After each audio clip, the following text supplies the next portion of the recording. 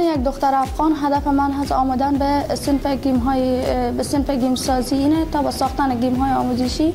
توانسته باشم در قسمت آموزش و تربیه فرزندان سرزمین خود به جهان نقش موثرتری داشته باشم. تا اینکه با استفاده از این game های آموزشی بتوانم درس‌های خود به صورت سریعتر فرا بگیرم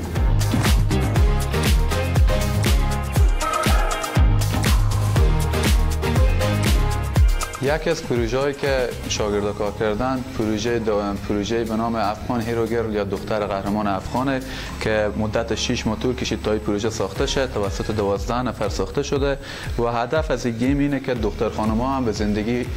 روزمره می‌تونن مشکلاتی داشته باشن که